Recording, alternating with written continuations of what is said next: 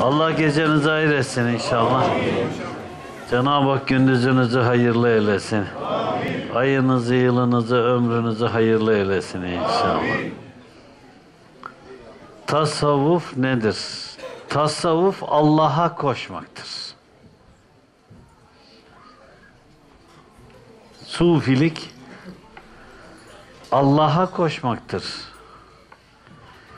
O yüzden Allah'a koşarken de bir kimsenin o koşunun kural ve kaidelerine uyaraktan koşmasıdır. Bir koşu ki hedefi bellidir. İşte parkuru bellidir. Koşar o kimse. O yüzden tasavvuf yolunda giden kimseye sufi denir. Sufi de hedefine Allah'a koyar, Allah'ı koyar ve koşar. Koşarken farzları yerine getirmesi, nafilelere sımsıkı yapışması ve Allah'ı sevmesi bu yolun olmazsa olmazıdır. Sağlam bir tasavvuf çizgisinde hangi özellikler bulunmalıdır?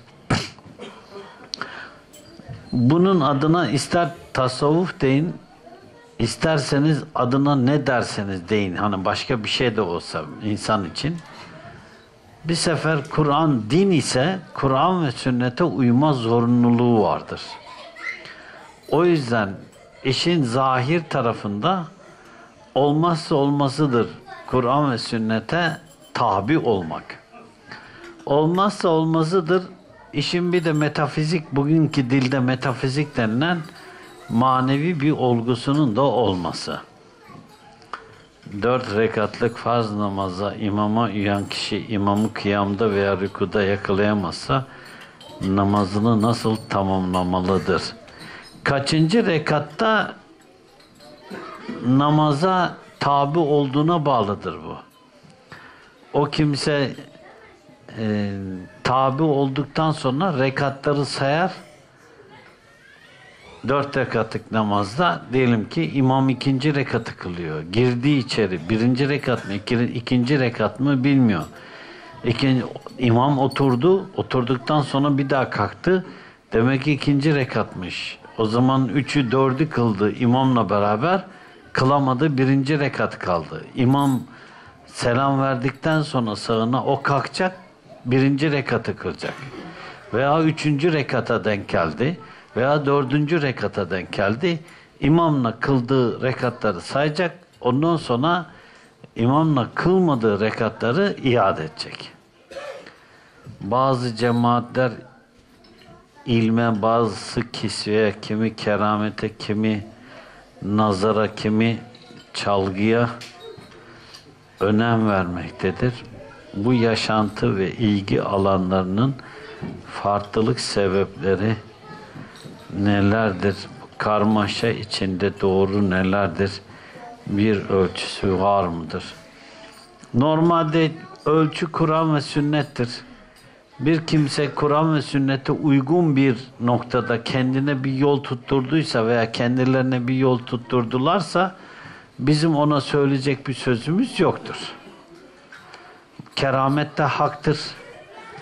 İşte ilim de haktır. Başka ne demiş? Nazar da haktır. Çalgı da haktır. Kisve de haktır. Bir kimsenin çıplak dolaşacak değil ya.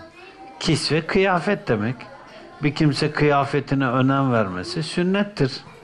Bir kimsenin ilme önem vermesi sünnettir. Bir kimsenin normalde keramete önem vermesi sünnettir. Nazara önem vermesi sünnettir. Çalgıya da o kimse önem vermesi sünnettir. Çünkü Hazreti Ayşe annemize söyledi, kıydınız mı nikahı? Kıydık ya Resulullah. Def vurdunuz mu dedi. Hayır ya Resulullah. E dedi ensar defi severdi. Neden vurmadınız? Defsiz nikah nikah değildir dedi. Birisi de oturur ona önem verir. Biz sünnet-i seneye uygun olan bir şeyi reddetmeyiz. Sağlık sorunları, prostat ve gastrit nedeniyle sürekli abdest alamıyorum. Sadece ibadetlere abdest alıyorum. Bu konudan dolayı çok üzülüyorum. Abdestsiz durduğum anlarda vefat etmek canımı sıkıyor. Bilgilendirirseniz sevinirim. Bir kimsenin normalde ibadet ibadet edeceği zaman abdestini alıp sağlık sebeplerinden dolayı sonradan sağlık sebeplerinden dolayı abdesti bozuluyorsa inşallah niyetine binaen Cenab-ı Hak onu abdesti hükmünde tutar. Bir insan, bir erkek düşünelim. Allah onu ergenlikle de imtihan edebilir mi? Bu ancak levh-i mahfuzda mı yazar? Bu belli bir yaşa gelip de 52 yaş diyelim. O bali çağına gelmemiş olabilir. Bu durumda çok sabır gerekir. Hep oruç ile şehvetini kırar. Evlenmeye muhtedir değil ise oruç tut oruç tavsiye edilir. Onun o kişinin sabrı gerçekten zor bir durum bu. Çocuk yok, evlilik, zürriyet yok. Bu büyük bir eksiklik. Buna 22 yıl sabretmek çok zor iş. Bu sabrın sonu selamet olur mu? Hakkınızı helal edin. Herkes niyet ettiğini bulur. Niyeti neyse o. Tarikat cemaati İslam Birliği diyen bir siyasi topluluk varken Avrupa Birliği yani Hristiyan Birliği diyen bir partiye oy verebilir mi? Normalde bir kimsenin bir partiye oy vermesi sıkıntılı bir şey mi ki? Yani İslam Birliği diyen bir siyasi topluluk mu var?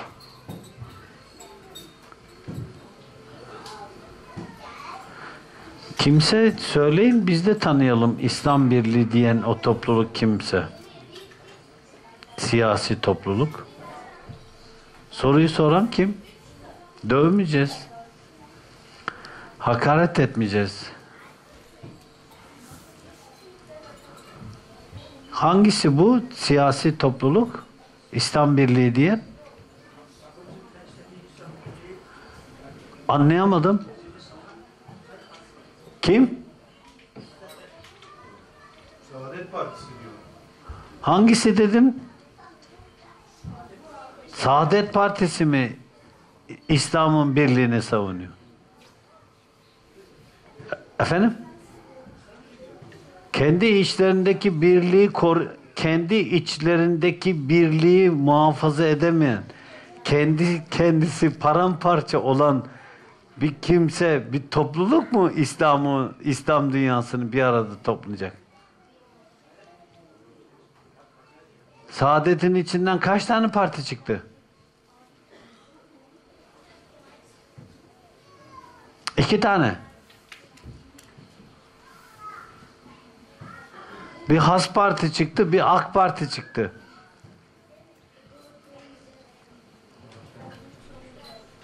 Bir de şimdi Erbakan'ın oğlu da çıkıyor. Cevap ver. Hu.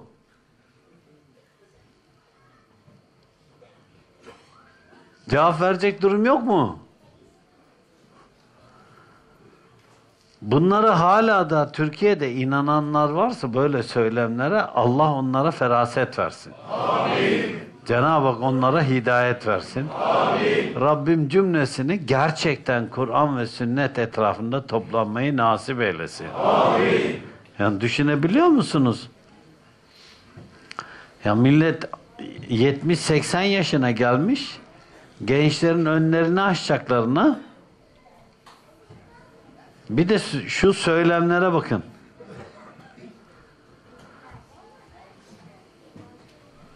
Neymiş? İslam Birliği diyen bir siyasi toplulukmuş. Kendi birliğini muhafaza edemeyen, kendi kalbini muhafaza edemeyen, kendini muhafaza edemeyen. Her biri makam sevdasına düşmüş, mevki sevdasına düşmüş. Arkadaşlar gördük. Mümin bir delikten iki sefer ısırılmaz.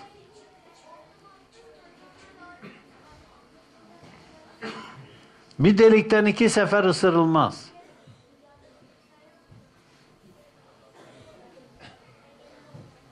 Ne yazık ki Müslüman siyasetçiler, Müslümanların siyasetçileri makamı, mevki gördü mü bozuluyor. Bugüne kadar gördüklerimizin hepsi de bozuldu.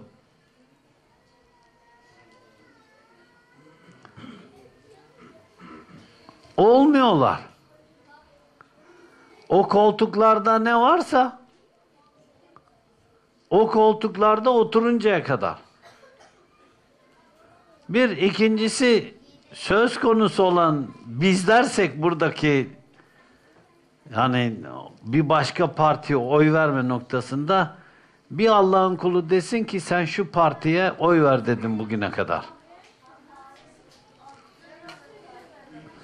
Bunlar boş muhabbet. Müslümanları oyalıyorlar. Müslümanları aldatıyorlar. Müslümanları kandırıyorlar.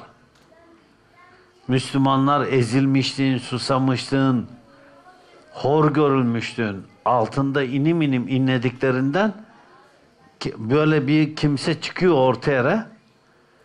Ondan sonra bir iki dini söylemle oylarınızı bana verin. Herkes gidiyor oylarını onlara veriyorlar. Birileri belediye başkanı oldu mu, milletvekili oldu mu, bir yerlere geldiği zaman git bul bulabilirsen, git yakala yakalayabilirsen. Git tut tutabilirsen. Aldatmayın insanları. Siyasi zaman gelince İslam oluyor her şey. Düşsenize yollara derdiniz İslamsa neden seçimden seçime kalkıp da çalışıyorsunuz? Derdiniz İslamsa durmayın hiç. Ev ev dolaşın. Mahalle mahalle dolaşın. Sokak sokak dolaşın.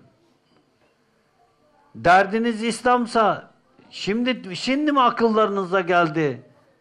Tarikatlar, cemaatler, topluluklar. Madem derdiniz İslam, ne dolaşmıyorsunuz? Ne gitmiyorsunuz? Ne yürümüyorsunuz? Bunların dertleri İslam İslam değil. Derdi İslam olanın arkasından 150 kilo altın mı kalırmış? Derdi İslam olanın arkasından bilmem hangi bankalarda bilmem ne kadar milyon dolarlar mı kalırmış? Hangi ticaretten kazandın o parayı?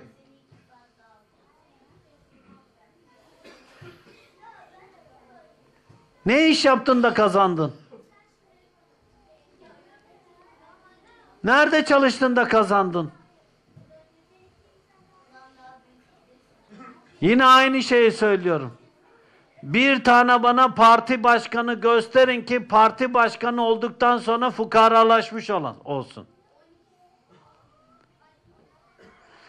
Bir tane belediye başkanı, bir tane milletvekili, bir tane başbakan, bir tane bakanlık yapan bir kimse gösterin bana. O kimse bu işleri yaptıktan sonra elindeki avucunu da harcamış, tığ taber şahmaran kalmış birini gösterin bana.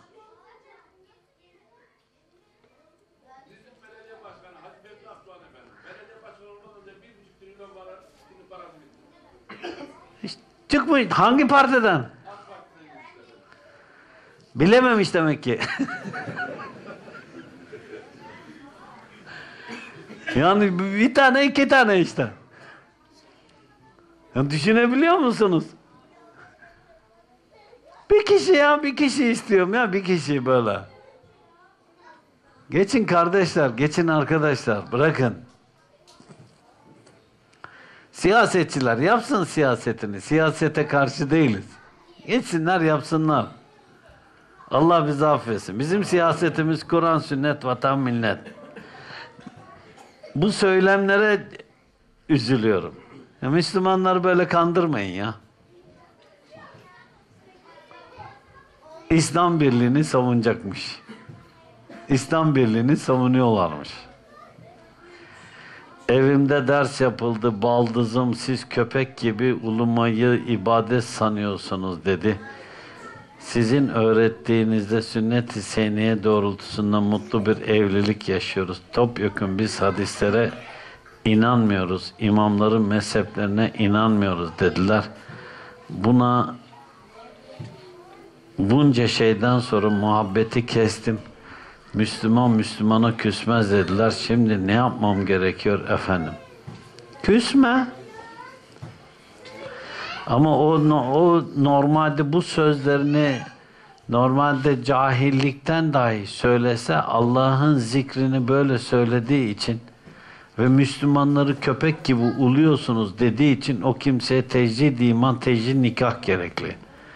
Ve aynı zamanda da biz hadislere inanmıyoruz diyorsa zaten Allah muhafaza eylesin. Hadisleri komple reddeden kimse küfür ehlidir. Şeyh kime denir? Şeyhlik babadan oğula geçen bir görev midir? Şeyhlik görevini kim verir? Kimler görevlendirir? Cevdet burada mı? Yok mu Cevdet? Cevdet tamirci şeyhi.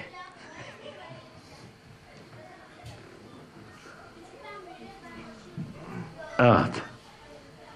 Lütfü Usta kaporta boya şeyhi. Burhan bizim mobilyacı şeyhi. Hacı Said kasap şeyhi. Şeyh bir konuda bilgili, o konuda tecrübe sahibi, ihtiyarlamış, o konuda ihtiyarlamış kimseye denir. Bu babadan oğula geçer mi? Oğlu da o sanatı öğrenirse, o bilgi birikimini alırsa yapar. Ne yapmasın ki? Adamın bir dükkanı var. Dükkanı çalıştırıyor. O konuda iyi bir esnaf. İşte sanatkarsa iyi sanatkar. İşte örneğin Lütfü Usta oğlunu yetiştiriyor şimdi. Oğlu diyelim ki babası gibi iyi bir sanatkar oldu. Nerede şey? Evet. Babası gibi ondan sonra Ahmet Can da eğer iyi bir sanatkar olursa dükkan kalacak şeye Ahmet Can'a inşallah. Ahmet Can, Ahmet Can da babası gibi böyle müşterilere karşı yumuşak huylu, müşterilere karşı alçak gönüllü, işte kırmamaya, üzmemeye, incitmemeye, iyi, işini iyi yapmaya gayret ederse babadan oğula geçecek. Babadan oğula geçer mi? Geçer. Şeyhlik görevini kim verir? E babası da der ki benim oğlan yetişti. Hadi evladım sen de bu dükkanın şeyhisin, sahibisin bundan sonra der. Babadan oğula geçer. Şeyh bu demek. Değil mi? Profesörler öyle yapmıyorlar mı? Ne yapıyor profesör? Bir tane alıyor, asistan yetiştiriyor. Öyle değil mi? Ondan sonra onun e, doçent yapıyor. Sonra profesör yapıyor. Sonra onun bölüm başkanı olarak olmasını istemiyor mu? Bak o da şey işte.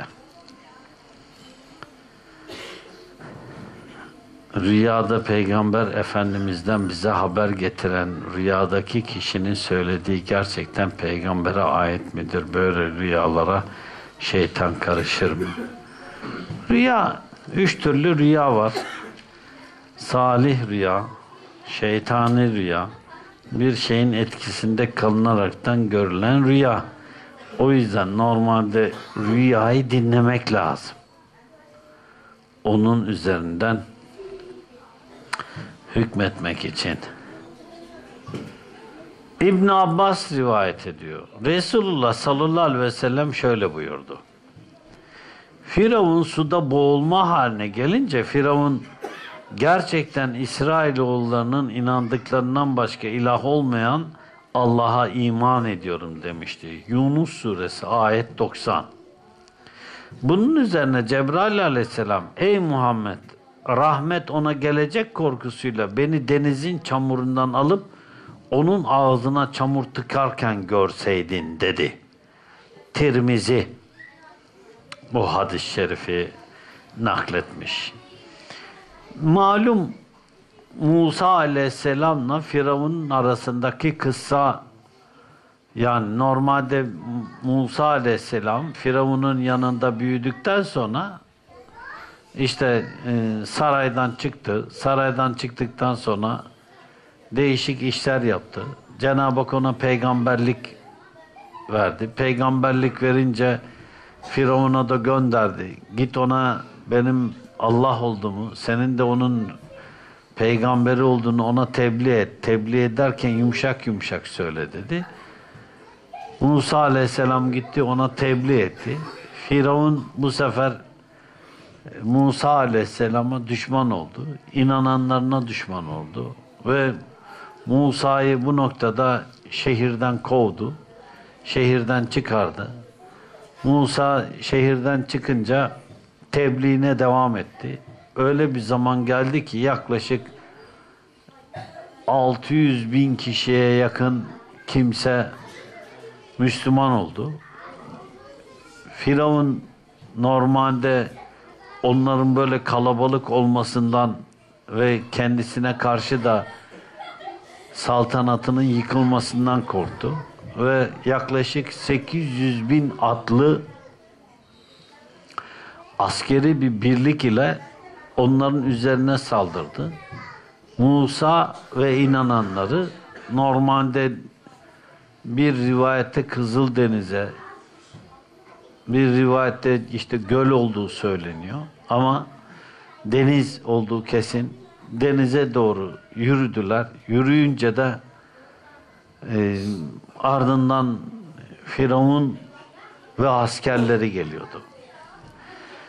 Tabi bunun içerisinde manevi tecelliyatlar var. Onlar böyle gelirken mesela e, Firavun'un arkasından gelen askerlerin yorgun olanları vardı. Böyle gitmek istemeyenleri vardı. Böyle hani e, işte ayağı topallayan ne bileyim e, böyle işte arkada kalanlar vardı. Mikail aleyhisselam o arkada kalanları sürüyü toplar gibi topluyordu hepsinden. Ve arkadan Mikail aleyhisselam hepsini de bir arada tutmaya çalışıyordu.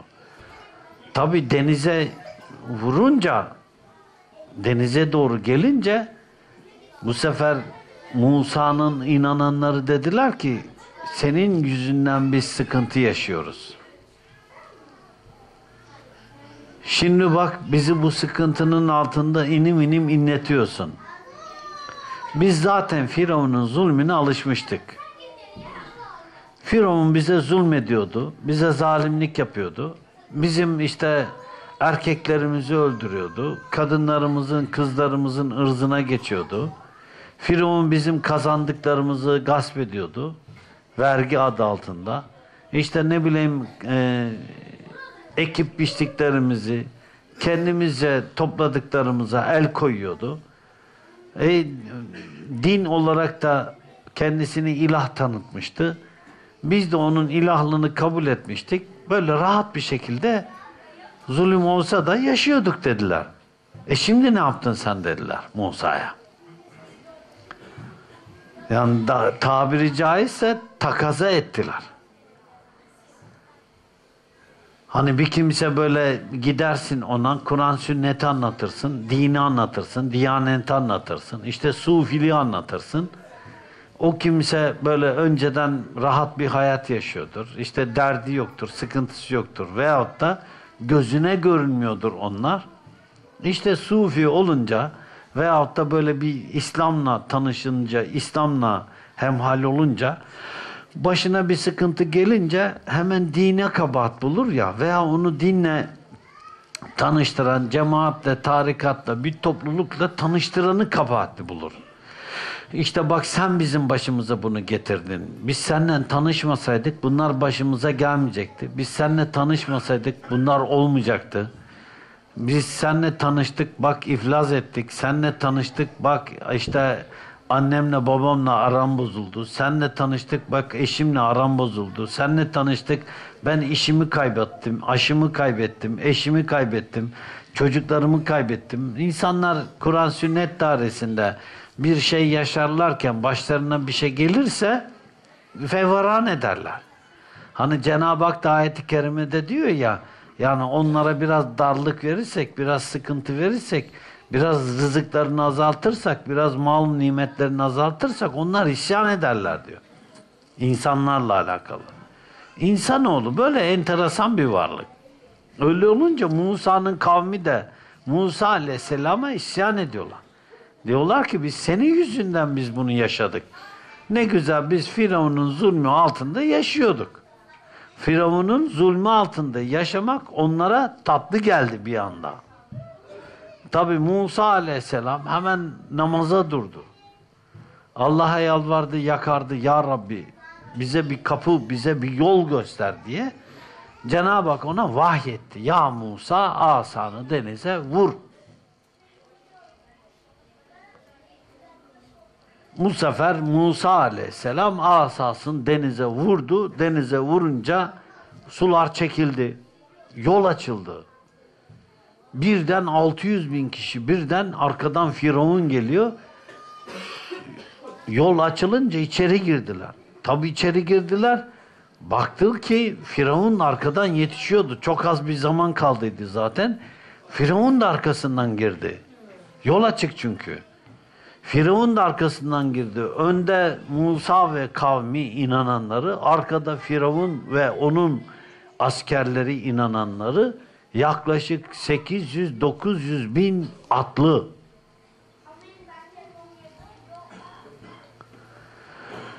Hepsi beraber denizin içerisine girdiler ve normalde karada hiç kimse kalmadı.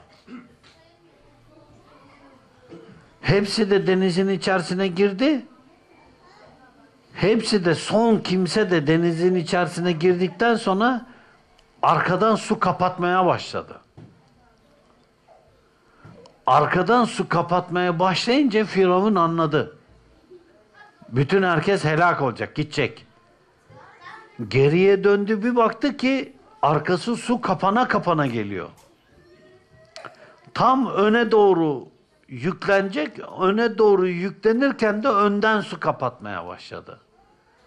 O zaman anladı ki sonu geldi. Sonunun geldiğini anladığı anda ben Musa'nın yani İsrailoğullarının Rabbine iman ettim dedi. İman ettim derken Cebrail aleyhisselam ağzını tıkadı. Çamurla. Diyor ki ey Muhammed o esnada benim büyük bir zevkle ve acele bir şekilde onun ağzına çamur tıkadığımı görmen gerekti diyor. O esnayı, o estantani görmeliydin. Tabi 91. ayeti kerime aslında 90. ayeti kerimenin ne olduğunu anlatıyor bize. 91. ayeti kerimede diyor ki o kimse sonunun geldiğini anladı. Ölümün ona geldiğini anladı. Ve tehdit ediyor. Diyor ki daha önce iman etmedin. Sana ölüm vurunca son nefesine yaklaşınca iman etmeye kalktın diye tehditvari konuşuyor. Tabi burası müteşabih bir nokta. Müteşabih bir nokta olduğundan dolayı bir kısmı demişler ki Firavun'un imanı kabul olunur. Bir kısmı demiş ki Firavun'un imanı kabul olmaz. Yani orada çünkü ayet-i kerimeyle açık İsrailoğullarının Rabbine iman ettim diye. Kabul ettim diye. Ama o iman son nefesteki iman ediş kabul edildi, kabul edilmedi. Bununla alakalı ulema ikiye ayrılmış. Hatta Sufilerin de bir kısmı Muhyiddin İbn Arabi Hazretleri'nin başını çekti. Bir kısmı der ki Firavun'un imanı imandır diye. Çünkü başka rivayetler de var. Ya Musa, ya Musa, ya Musa diye bağırıyor arkasından. Hatta bir e, hadisi kutsi olduğu söyleniyor. Yani bir kez ya Allah deseydi ona hidayet ederdim. Ya Musa sen dönüp bakmadın. Hani o seni çağırdı. Sen ona dö- dönüp bakmadın diye. Şimdi tabi o esnada Cebrail aleyhisselam işte onun ağzına çamur tıkadığımda tıkadığım zamanı, anı görmeliydin diyor. Şimdi melekler kendilerince bir şeyde fikir yürütemezler. Yapmış oldukları her şey Allah katından emirledir. Melekler kendileri akledip, fikredip bir işlemde bulunamazlar. O zaman Cebrail aleyhisselam da bunu yaparken yine Cenab-ı Hakk'ın emriyle yaptı. İşin bu tarafı var. Ama o emri yerine getirirken Cebrail aleyhisselam bir sevinç yaşadı. Biz buna bu sevince sufi literatürde sekir hali diyoruz. Yani Firavun'un iman etmemesi, yani o kadar o müşriklikte, ilahlıkta, böyle küfürde ileri gitmiş ki, onun imana müsaade edilmemesi, onun imana kapı aralanmaması bu noktada sekir haline getirmiş. Sevince boğmuş onu. Şimdi hani sekir halini iki ders önce olması lazımdı. Hazreti Ömer radıyallahu anh hazretlerinin hali vardı ya yani o kadar dine bağlı o kadar dine karşı samimi ve ihlaslı ki Hazreti Peygamber sallallahu aleyhi ve sellem hazretleri münafık bir kimsenin namazını kılacağı zaman onun cübbesinden tutup Allah'ın lanetlediği bir kimsenin mi namazını kılacaksın demesi gibi bu. O esnada da Hazreti Ömer radıyallahu anh hazretleri sekir halinde. Onun sekri de Kur'an ve sünnete tam böyle bağlılığından yani o bağlılıkla hani sen bu noktada hani ne yapıyorsun? Bu noktada sen bir münafığın mı namazını kılıyorsun diye Hazreti Peygamber sallallahu aleyhi ve sellem hazretlerini eleştirel bakmak değil. O sekir haliyle ne yaptığını bilmemek gibi bir şey bu. Bu o esnada hani işin mana tarafının da gözü kör oluyor sekir halinde olunca. Hazreti Peygamber sallallahu aleyhi ve sellem hazretleri bu bana müsaade edildi.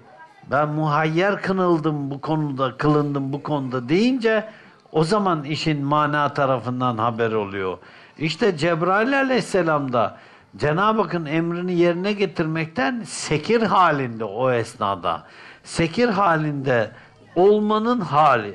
Tabi bu hadis-i şeriften biz kendi kendimize şunu da bir ölçü olarak çıkarabiliriz. Bir kimse öleceğini bildiği anda iman etmesi o kimsenin kurtuluşuna sebep olmayabilir. Ama Hanefiler demişler ki bir kimse son nefeste dahi iman etse kurtuluşa ermiştir. Bununla alakalı ayet ve hadisler var. O zaman biz yine de kendi kendimizi bunu bir ölçü olarak alıp iman edişimizi son nefese bırakmayalım inşallah. Rabbim cümlemizi imanında kemale eren kullarından eylesin inşallah. Fâlemennehu la